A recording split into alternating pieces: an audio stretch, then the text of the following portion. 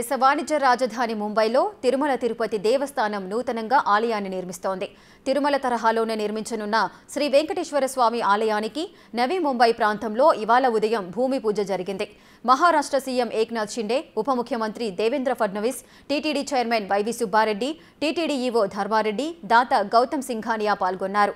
వంద కోట్ల వ్యయంతో ఆలయాన్ని నిర్మిస్తున్నట్లు టీటీడీ చైర్మన్ తెలిపారు. ఇక ఆలయ నిర్మాణానికి మహారాష్ట్ర ప్రభుత్వం అన్ని రకాలుగా సహకరిస్తుందని ఏపీ ఏక్నాథ్ షింగే షిండే తెలిపారు.